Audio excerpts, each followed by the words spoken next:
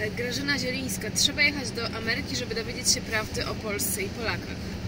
No niestety, Polska dalej jest pod, y, można powiedzieć, miękką okupacją rosyjsko-niemiecką.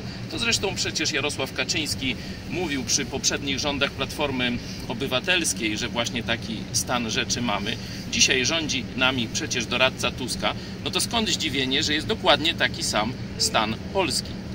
Mariola Liberda. Dlaczego Idź Pod Prąd nie szuka kontaktu z innymi polonijnymi chrześcijańskimi kościołami, oprócz Polonii przy kościele amerykańskim w Monii? Jest wiele wierzących Polaków w samym Chicago. Bardzo świetny pomysł, tylko jak mamy Was znaleźć? My jesteśmy dostępni. Proszę, zgłaszajcie się do nas. Naprawdę podejmiemy każdy kontakt, który będzie w tym samym kierunku szedł, w którym my deklarujemy nasze cele. Nie możemy Was znaleźć, dlatego jak najszerzej w internecie rozsiewamy wiadomości, żebyście Wy znaleźli nas. Także proszę o kontakt.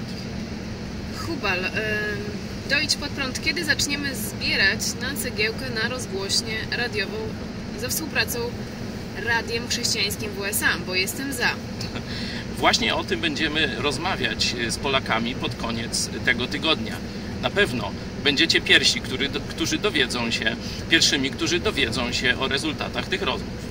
Rafał Wasiluk, pastorze, jesteśmy z Ciebie dumni. Godnie reprezentowałeś nas Polaków pierwszy raz w życiu.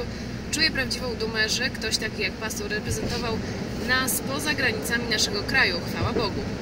A wiecie, jak ja byłem dumny z naszego całego zespołu, czyli także z Was, z każdego z Was, że Bóg pobłogosławił tak bardzo nasze działania, że na tak prestiżowym miejscu z senatorami, z politykami, ale przede wszystkim z działaczami społecznymi e, z całych Stanów Zjednoczonych mo mogliśmy mówić o Polsce w tak piękny sposób. To, była, to były niezapomniane chwile. Dziękuję Bogu, ale dziękuję każdemu z Was. Męczy dusza, czy i jak jest przedstawiana Polska w amerykańskich mediach? Bo tak się zastanawiam, jakie info mają normalnie Amerykanie o Polsce, jeśli jakieś mają. Rzeczywiście jest duży poziom niedoinformowania. Tutaj mamy y, do czynienia z ludźmi najlepiej przygotowanymi, najlepiej poinformowanymi, najlepiej wyeduko- wyeduko- wyedukowanymi, a i tak pewne informacje na temat tego, jak PiS oszukuje, jaką socjalistyczną, etatystyczną partią jest, tutaj nie dotarły, ale już y, posprzątane. Zdzisław Rakieta, na kogo będziecie głosować w wyborach samorządowych? Y, Wybory samorządowe najprawdopodobniej zbojkotujemy, ale o tym y, wypowie się prezes partii. Hubal jeszcze dopytuje pytanie, czy ruch 11 listopada, gdy dojdzie do władzy, stworzy elitarną jednostkę, coś typu GROB lub Secret Service dla ochrony Idź Pod Prąd. My już mamy taką jednostkę, no, jej kwatera główna jest w niebie. Ruda 60, kochani, jesteście prawdziwym błogosławieństwem dla nas, wolnych, wierzących Polaków. Błogosławię Was z całego serca. Amen.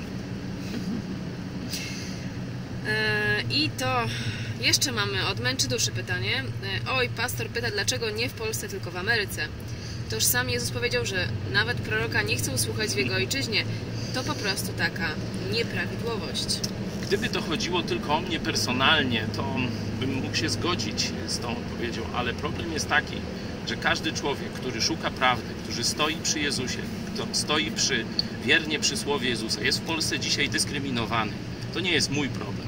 To jest problem naszego narodu. To musi się zmienić. To były pytania i odpowiedzi w Idź Pod Prąd Studio Mobilne Ameryka. Dziękuję Tym razem serdecznie. bardzo mobilne. Jedziemy na ważne spotkanie. Prosimy o modlitwę. Do zobaczenia.